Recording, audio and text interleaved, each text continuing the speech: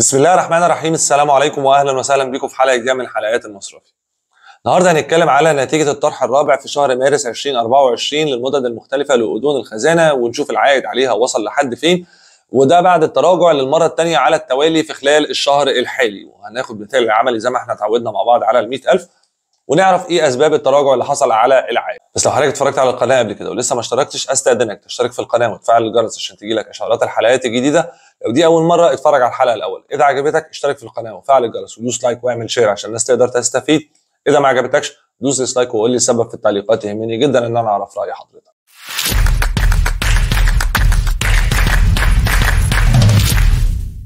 في بعض النقاط اللي دايما بحب أكد على حضراتكم عليها في كل حلقة بنناقش فيها نتيجة الطروحات زي ما إحنا متعودين. إحنا أول طرح في الشهر هو اللي بنشرح فيه اذون الخزانة بالكامل. باقي الطروحات اللي موجودة في خلال الشهر بنتكلم على النتيجة وبنأكد على بعض النقاط.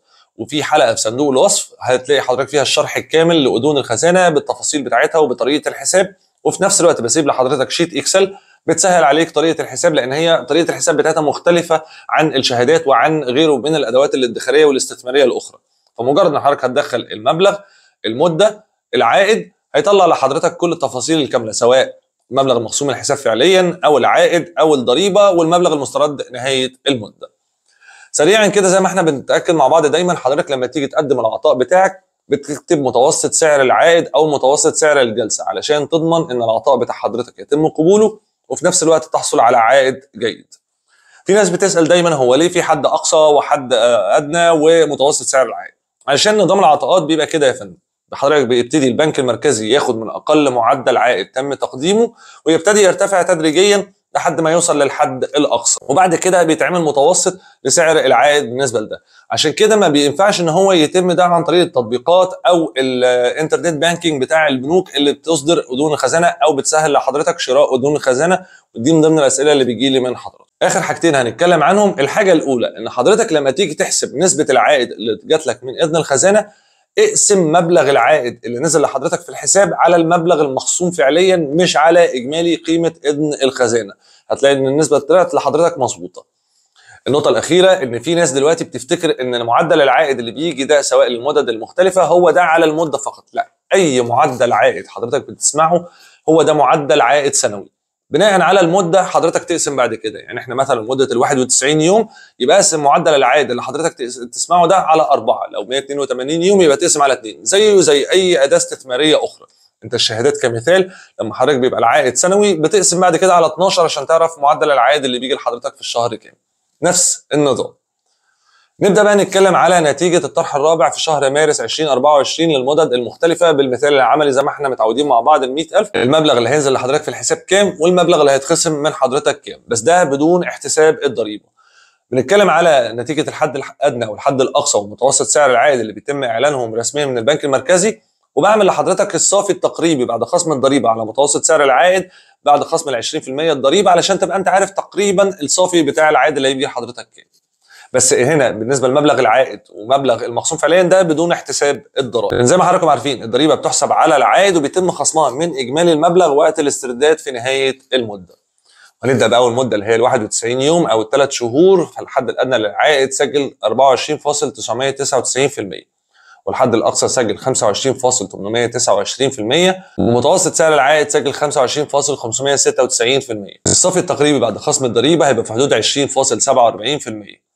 على مثال ال 100000 كده اللي هيتم خصمه من حساب حضرتك في حدود 94002 والعائد اللي هيفضل في الحساب هيبقى 5998 بالنسبة لمدة ال 182 يوم أو الست شهور. الحد الأدنى للعائد كان 25% والحد الأقصى كان 28% بمتوسط سعر العائد 27.723% والصافي التقريبي بعد خصم الضريبة هيبقى في حدود 22.17% على مثال ال 100000 كده اللي هيتم خصمه من حساب حضرتك في حدود 87855 والعائد اللي هينزل في حساب حضرتك في حدود 12145 أما مدة ال 273 يوم أو 9 شهور فالحد الأدنى للعائد مسجل 26.5% والحد الأقصى مسجل 27.001% ومتوسط سعر العائد 26.946% الصافي التقريبي بعد خصم الضريبة هيبقى في حدود 21.55% على مثال ال 100000 كده اللي هيتخصم من حساب حضرتك في حدود 83226 والعائد اللي هيفضل في الحساب في حدود 16774 بالنسبة لآخر مدة اللي هي 364 يوم أو السنة الحد الأدنى للعائد كان 27% والحد الأقصى كان 28.429% ومتوسط سعر العائد 28.253% والصافي التقريبي بعد خصم الضريبة هيبقى في حدود 22.6% على مثال ال 100000 كده اللي هيتم خصمه من حساب حضرتك في حدود ال 78018 والعائد اللي هينزل حساب في حدود 21982 ده كده نتيجة المدد المختلفة للطرح الرابع في شهر مارس.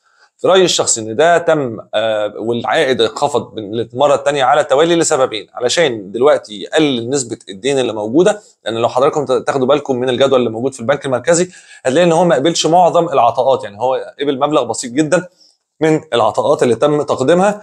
أول حاجة علشان يقلل نسبه الدين تاني حاجة علشان العائد اللي تم طلبه كان كبير جدا وهو عايز نوعا ما يحجم الأموال الساخنة اللي بدأت تدخل في الاقتصاد المصري مرة أخرى ويتعامل معاها بشكل جيد. وفي رأيي الشخصي ده شيء جيد وإيجابي للفترة القادمة بإذن الله. ده ببساطة كان نتيجة الطرح الأخير زي ما اتفقنا وإيه أسباب تراجع العائد على الأذون الخزانة بالمدد المختلفة بتاعتها. ودي كانت حلقة النهارده من المصرفي. يا رب أكون قدرت أفيدكم بالموضوع ده وما تنسوش تشتركوا في القناة وتفعلوا الجرس عشان تجيلكم إشعارات الحلقات الجديدة. ولو الحلقة عجبتك دوس like واعمل share عشان الناس تقدر تستفيد.